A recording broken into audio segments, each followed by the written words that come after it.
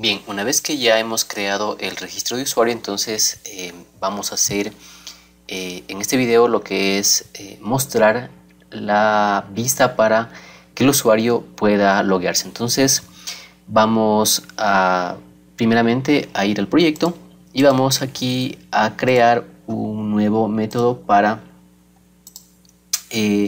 mostrar al usuario la parte del login. Entonces Luego del método save vamos a crear un nuevo método. Este método va a responder a una petición de tipo getMapping a la cual le vamos a poner una terminación de URL que le vamos a llamar login. Vamos a darle un nombre a este método, va a retornar un string. Eh, este método es para eh, mostrar la vista de login, entonces eh, vamos a llamarle login va a retornar un string que sería la vista. Todavía no la tenemos a la vista, la vamos a eh, copiar en el directorio usuario posteriormente, pero ya la vamos a hacer el llamado. Entonces esta vista va a estar en usuario, va a estar en usuario y la vamos a llamar, eh, o se va a llamar login. Entonces vamos a guardar. Bueno, no nos vamos a guardar de momento porque todavía no vamos a probarlo. Vamos ahorita en este momento a ir hacia el directorio Spring y vamos a copiar el archivo que dice login. Entonces cogemos, lo vamos a copiar y lo pegamos en el directorio del usuario. ¿sí? Lo vamos a pegar ahí y lo vamos a abrir. Entonces sí mismo vamos a partir de registro, vamos a copiar desde aquí los namespace, vamos a pegar por acá los namespace, vamos también Ah, desde registro vamos a copiar el tema de las, eh, acceso a Bootstrap. Reemplazamos por acá. Pegamos por aquí y también aquí no va a tener un, template para el header, sino que va a tener su propio, su propio header. Entonces, esto lo dejamos por ahí tal como está. Y lo siguiente que vamos a hacer es bajar un poco sí, para cambiar la parte del footer y del eh, llamado a JavaScript. Entonces esto vamos a ir a registro.html y vamos a copiar todo desde por aquí para reemplazar en la vista login. Entonces una vez que ya eh, tenemos acá, seleccionamos y reemplazamos. Entonces con esto ya eh, tenemos la vista login y lo siguiente que tenemos que hacer es ir eh, primeramente al template usuario que está por acá, vamos a encontrarlo por acá, al template usuario y vamos a bajar, vamos a ubicarnos hasta donde dice login, que viene a ser aquí. Entonces aquí vamos a llamar al método que hemos creado anteriormente. Entonces ponemos un thref y aquí este login.html reemplazamos por un llamado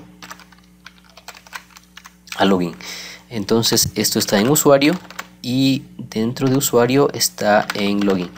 Recordemos que aquí estamos llamando al controlador ¿sí? al controlador que tenemos por acá que tiene un request mapping de usuario y luego a login. Entonces igual una vez que estamos aquí en el usuario controller también vamos a guardar porque yo antes no había guardado vamos a guardar.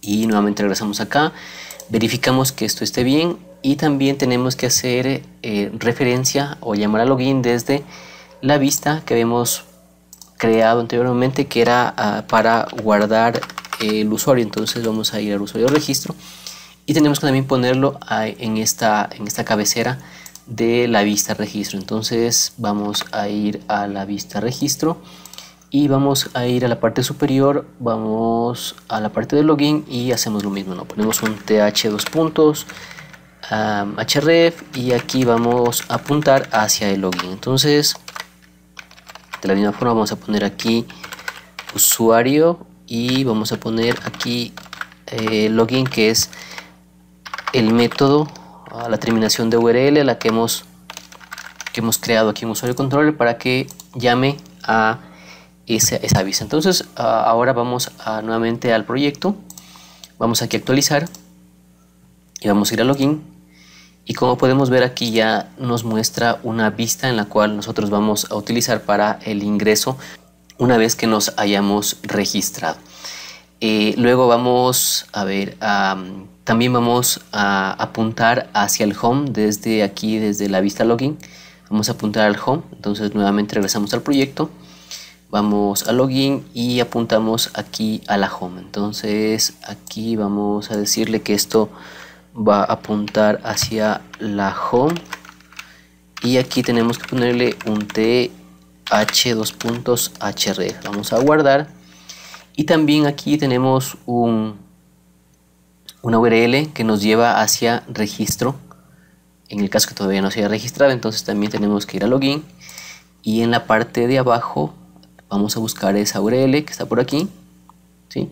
y también la vamos a mapear hacia el método que hace el registro que está por acá registro. Entonces aquí para ya no poner esto directamente nosotros vamos a utilizar aquí eh, ya una referencia a esa URL entonces aquí ponemos usuario y ponemos registro.